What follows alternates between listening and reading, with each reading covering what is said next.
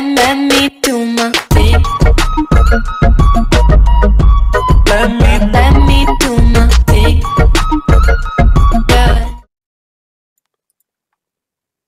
Hello, my name is Ellis. Welcome to the Grenouille Gaming channel, your ultimate magic channel here on YouTube. Yesterday I might have mentioned that M19 is perhaps my favorite set ever printed. One of my favorite cards in my favorite set is Death Baron. We're going to build a deck around him today. Okay, so he's a 3-drop 2-2 zombie wizard with the ability, this is an awesome ability, skeletons you control and other zombies you control, so not himself, get plus 1-1 and have Death Touch. Death Touch, any amount of damage a source with Death Touch deals to a creature is enough to destroy it. So you just have to hit them for one and they die. It's so fun. You can trade super efficiently. All of our little drops, once they are buffed up with this Death Touch, we can trade them with Carnage Tyrant, you know? Reassembling Skeleton, 2 drop 1 1, buy Carney T. So, let's talk about this deck, how it works. We run a lot of 1 and 2 drops, a couple 3 drops, fewer 4 drops. Actually, there's more four drops than three drops, but you know what I mean. And just a just a couple five drops. Let's talk about the five drops first. Open the graves. Five mana enchantment. Whenever a non-token creature you control dies, create a two-two black zombie creature token. We can abuse the mess out of this. All right. How do we do it? Simple. We run creatures like Undercity Necrolisk. This is perhaps our most efficient way to combo. Sacrifice another creature, put a 1 1 counter on him, it gains Menace. Uh, you can only activate this ability like a sorcery. Also, we run Costly Plunder, sacrifice a creature, draw two cards. If We might as well get something out of our sacrificing, right? Yeah, makes sense to me. Uh, we run Vicious Offering, some removal. If you sacrifice a creature, you can take out a mid range spell, or a mid range creature, rather. Cry the Carnarium. This can board wipe us, but if we have Open the Graves out, we're going to replenish pretty much everything we lost. And the big champion of our Open the Graves combo here is Reassembling Skeleton. You can sack him, bring him back, sack him, bring him back, sack him, bring him back. Just making Necrolisk grow and grow turn by turn. It's so fun. Normally, I don't like Reassembling Skeleton.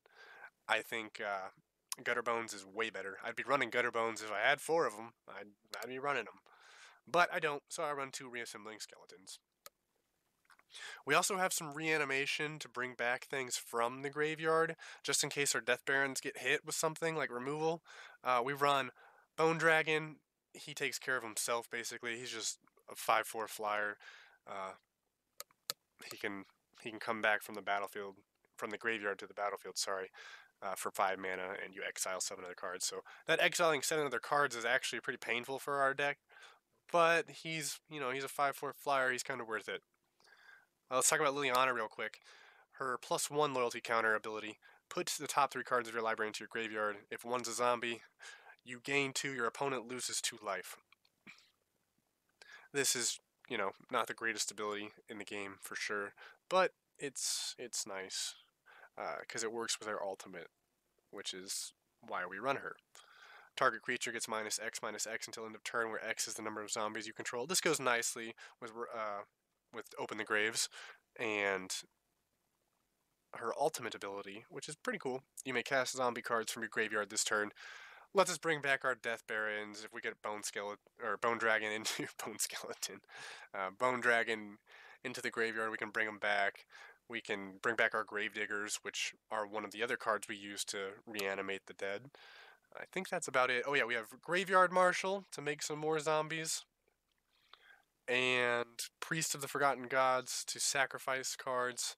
Then we run Plague Wight. It's a good zombie. I just have one of them. Uh, so I just run one of them. We run Pestilent Spirit, not a zombie or skeleton, so it doesn't really fit the deck, but it's good card, 3-2 Menace Death Touch. We don't even use his secondary ability, but this card's so good, we'll probably be seeing some more of him on this channel soon. Noxian Grudian? Gru Grugen? Not sure. Just a 2-2 Death Touch, Hired Poisoner, 1-1 Death Touch, and Orzhov Enforcer, 1-2 Death Touch Afterlife 1, very good card. Barrier Bones, why Barrier Bones? Because a 1-4 Death Touch that lets you surveil 1 is a very, very good magic card. we have some removal, like I mentioned before. Fungal infections for the Elvish Mystics, Goblin Instigators, uh, Moment of Craving for Mono Red. We get some life back. It's great. We talked about Vicious Offering already. Uh, Bladebrand, just a one off of two drop. Target creature gains Death Touch. If we don't have Death Baron out yet, this card will take care of one of their threatening creatures, and we get to draw a card, so maybe we'll draw into that Baron. 21 lands, because we're running pretty aggressive here. Uh, it, you get some fast wins, your board goes pretty wide, you overwhelm them with zombies. If you can combo, it's really fun. So that's why I like this deck. The combos are great, the creatures are great, Death Touch so fun. Mono Black is one of my favorite archetypes in Magic. I hope you enjoy the upcoming games. I hope you're having a great Super Bowl Sunday. Uh, go Rams, and I'll see you tomorrow.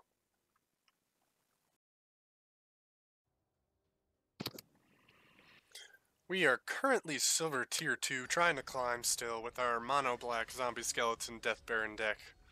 It's pretty aggro, it's pretty fun. Having a good time playing it so far. Sweet, we got Death Baron, we got two zombies, three zombies, or, well, skeleton and two zombies. You know what I mean. This is a good hand. We're to keep and win this game. Let's go. Opponent goes first. I like going second. I'm sure you know that by now. If you don't know, most people say going first is definitely an advantage. I prefer the card draw, having a card advantage. Uh, I mentioned it yes in yesterday's video. I break Magic down into three categories when it comes to deciding who's winning. Uh, card advantage, board control, and life total. So if you have two out of the three, things are going pretty good for you. Pretty well, I'm sorry. So we'll turn to Reassembling Skeleton straight into the Death Baron. We hope he doesn't play a black mana right here. Okay, we're worried about Golgari. If it's mono green, it could be an elf deck. And uh, that doesn't sound so bad.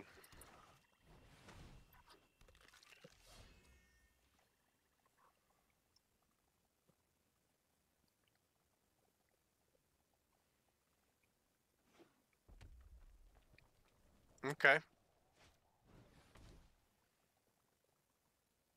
Let's see here before we decide what, what deck it is. I don't think it's a gate deck. I'd be surprised if it was at this point. Could be dinosaurs.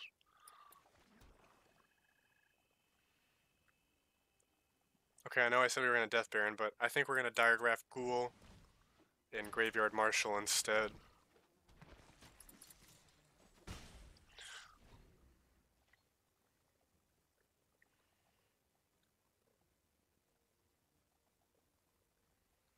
If we draw another land, we'll probably play the Skeleton Archer.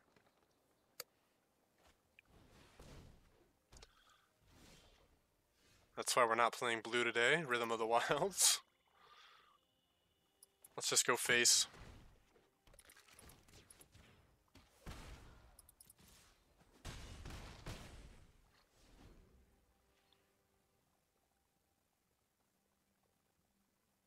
We've got the Gravedigger to protect our get our uh, our Death Baron. That feels pretty good. A Dimir Death Baron deck would be something worth trying. I would I would suggest that to you. Get some counter spells to protect him because he's only three mana. So Devious Cover Up would work great.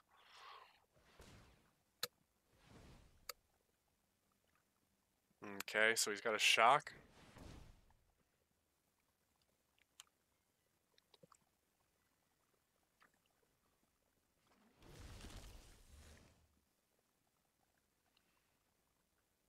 I think the best thing to draw right now would be another Death Baron. Vicious Offering. Hmm. Let's see. Yeah, if we play the Death Baron, he can't block efficiently at all, so that's the play. And we really put the pressure on here.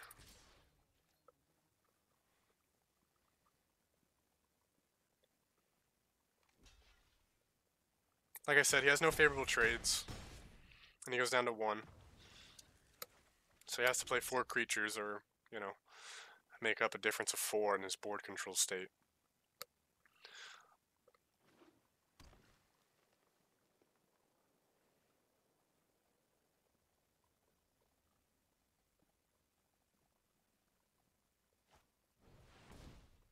Yeah, that's not going to cut it, buddy.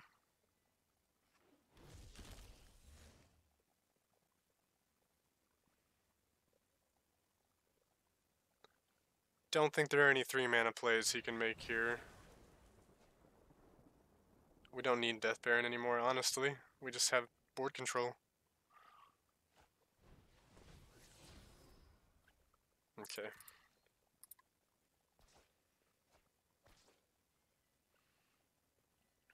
He's just wasting our time now.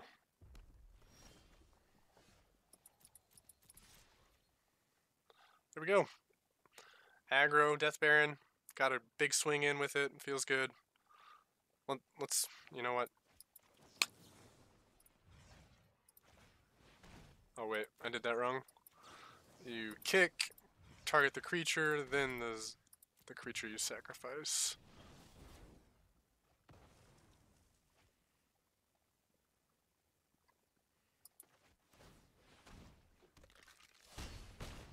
There we go. Hope you enjoyed game one.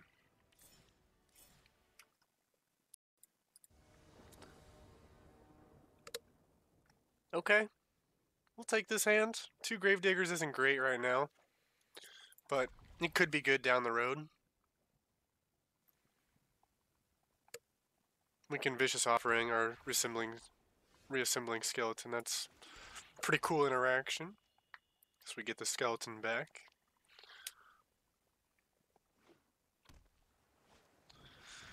Sorry this video is later than they normally are. I uh, got distracted today by the Super Bowl and my brother wanted to play some Magic, so I had to do that. It was fun.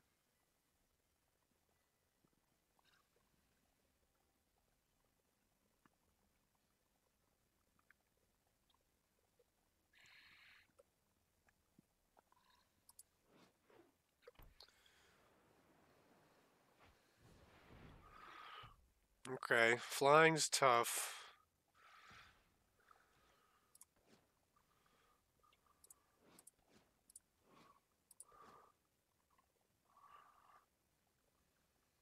What are you thinking about here, buddy? You gonna attack?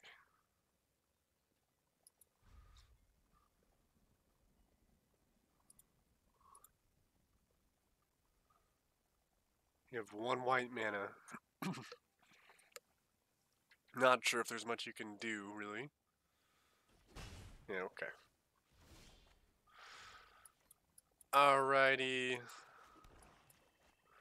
I think we diregraf Ghoul. And we might Vicious Offering. Holy cow, our opponent's taking forever. Click the orange button, buddy, please. Thank you very much. No need to be impatient, I guess. I suppose we can keep a level head. Crucial in this game of magic. We'll go ahead and attack because we're probably going to sack some uh, skeleton next turn.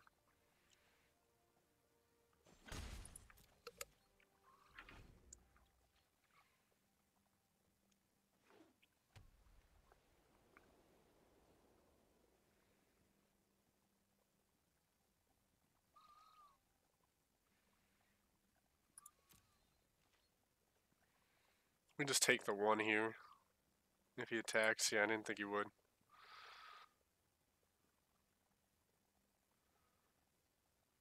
Now we might not even have to kick Vicious Offering. If you kick it, uh, that, that means, in case you didn't know, you have to pay an additional cost. In this case, it would be sacrificing a creature, but a lot of times kickers are mana costs. So,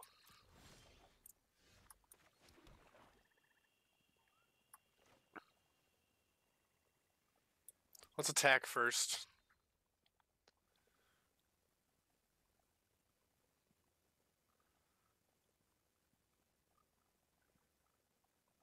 Holy cow. He could have settled the wreckage here, which would be unfortunate.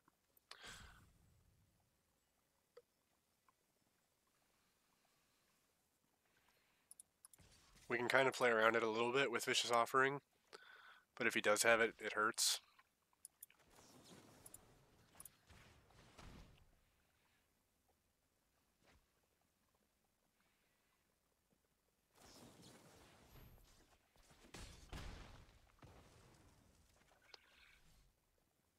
That's fine by me. We got the two damage in like we wanted to, and we burned a spell of his. Target creature gets plus 2 2 until end of turn. You gain 1 life for each attacking creature you control. Okay, so he didn't even get maximum value out of that card. Wow. Sleeping me. Really? You really want to sleep me now? Alright. Whoops.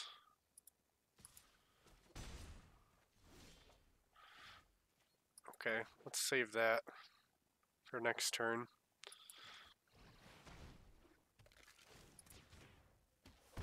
I don't want to play the Death Baron now because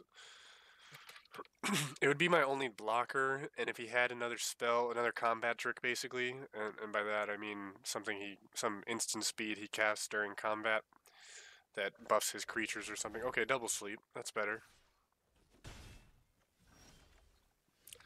That's gonna be tough for him, though. Does he have a third sleep? We'll see. Who knows? Hello, Bone Dragon. You beautiful card. Oh. And that'll shut down most of his flyers, I believe. Even Wind Mage is a 2-2, it'll be a 3-3. So you'd have to cast two instants of sorceries for it. Oh, actually just one to trade with the Bone Dragon. You can see my opponent hovering over Bone Dragon right now, so that makes me feel like he has some sort of bounce or removal spell here.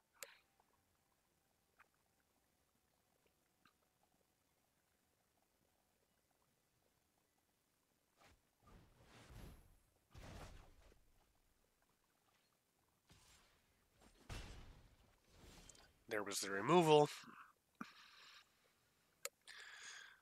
Um, I think we'll just throw out Skeleton Archer again. Get another one damage off.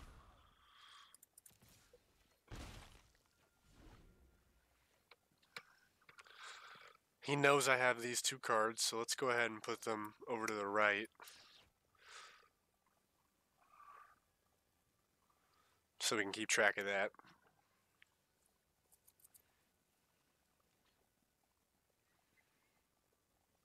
Tetsuko. Six mana, that's a pretty good number. Sorta.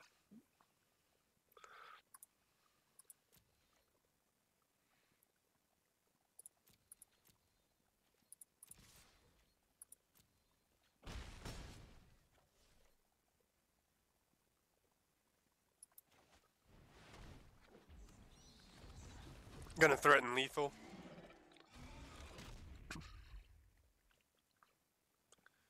Next turn, if we play the Death Baron, we pretty much have it. He probably has settled the wreckage here, though, so we have to play around that for sure. We don't want our Bone Dragon getting exiled. That would be unfortunate, to say the least. Scorpion.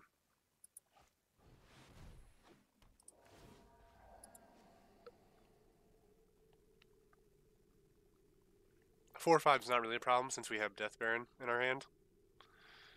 Remember the 1-1 counter will apply to Bone Dragon. Great card, Death Baron.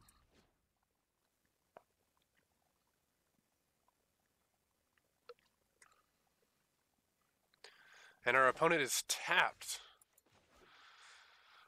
So we don't quite strike... Uh, you know what? I think we might have lethal here. Let's see. We've got seven mana four and three. I'm counting three here, four right here. We can play the reassembling skeleton. Vicious offering with a kicker.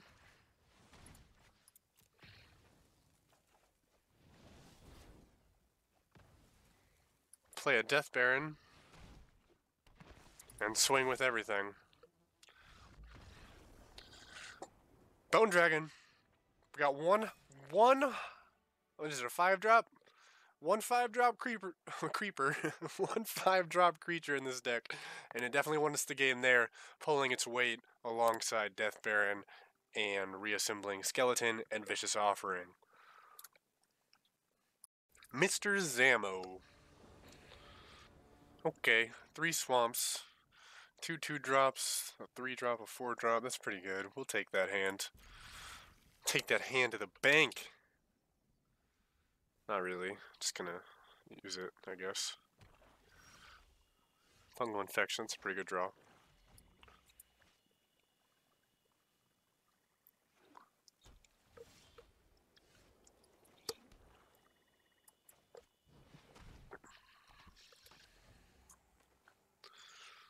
White black. Looks like some sort of life gain shenanigans. Cry of the Carnarium, not bad.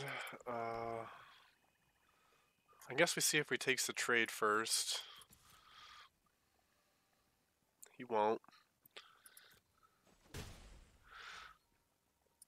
Then we play the 2-2 Death Touch.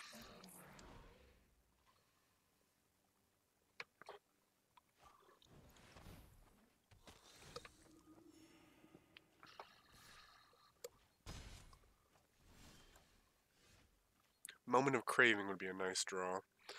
We could wipe. Wiping's not bad here. I, well, I already invested in the Noxious Grodian. Gro Grogen, Grogen, Grugen. That's a weird, weird word there. Grudian, Grugen. I'm not sure. Uh,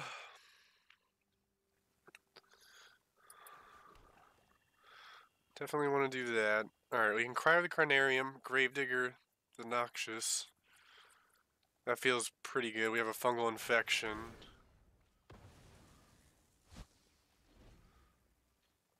Oh, we can't because it's exiled. That's right. Whoops. Oh well.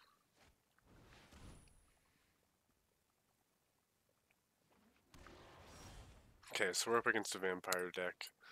These fungals aren't going to do much unless he has Child of Night.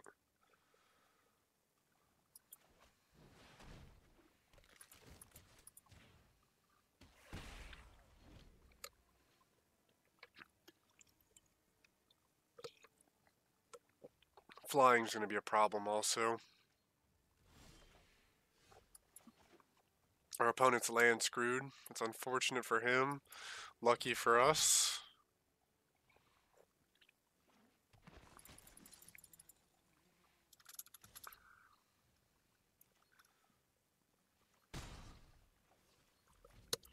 We can double fungal a blood a blood letter. Legion's Landing.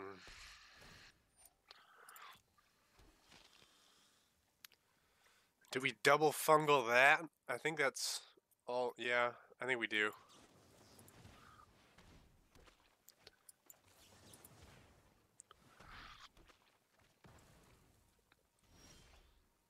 Oh, that's a pretty good draw right there.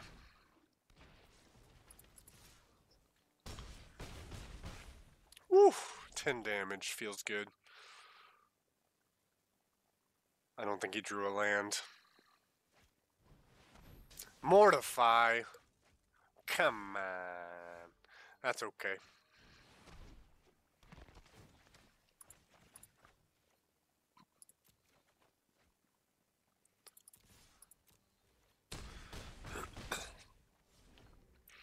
This one's uh, pretty much sealed away. Magic card joke of the day. Can we deal six somehow?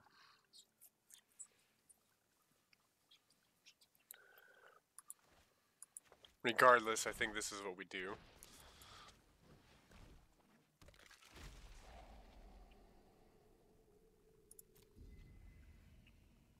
Vicious Offering looks pretty good here. I think we just attack with everything. We definitely have board control here.